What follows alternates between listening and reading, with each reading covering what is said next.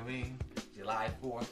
You know what I mean? Hey, happy, yeah, July 4th of July. Yeah, this is the birth of our great nation.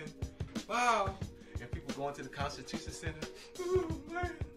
Our great country was born in 1776, right?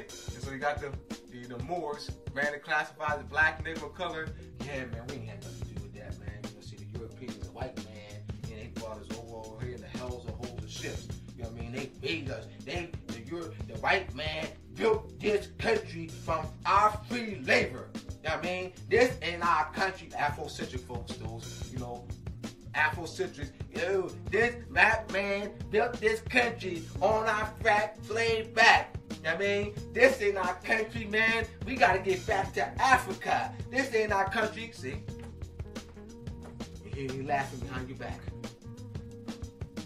Talk like that because of the false history that they promote. We're not even the frame of mind that we claim our own government. Don't even know that they're out there, they're trustees in our own government, of, our, own, the Moorish government. They're not founders, founders. All right? Why is this important? Because once you start knowing who you are, huh? Page three, got a picture of him. Show it to him. Page three. First President of the United States, black man. Hold up so they can see you. That's John Hanson. Now read what it says. Given, okay. Bronze by Richard E. Brooks. Given in 1903, located in the Senate connecting corridor. In the Senate building, this nigga's picture is there, but they don't say why. they don't say he's the first president of the United States.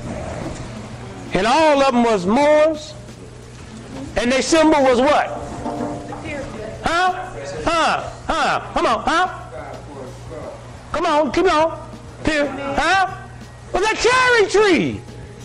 So the code is George Washington chopped the cherry tree down. That's when they switched signals. Huh? Oh, that's cool.